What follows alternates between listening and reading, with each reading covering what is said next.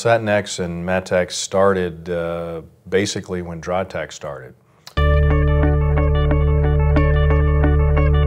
There are actually two versions of Satinex and Mattex. Uh, they're basically the same film. The version for the heated vacuum press has perforations, whereas the version for the roller laminators do not. For canvas wraps, Satinex and Mattex allow for bending around the corner of the frame without any cracking whatsoever.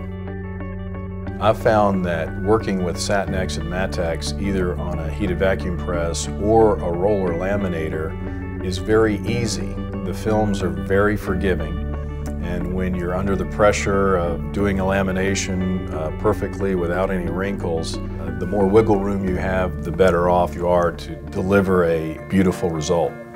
There are two side benefits as well. Uh, one is the film uh, inherently has UV uh, protection, uh, and actually we've had some customers put these outside for three plus years. Additionally, because of the filmic nature, uh, this allows for a nice even tone uh, throughout the print. Uh, compared to liquids where sometimes you can have drips, overlap marks, or runs.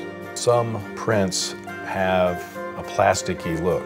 Satinex and Mattex give you the protection and it's like not even having a laminate there.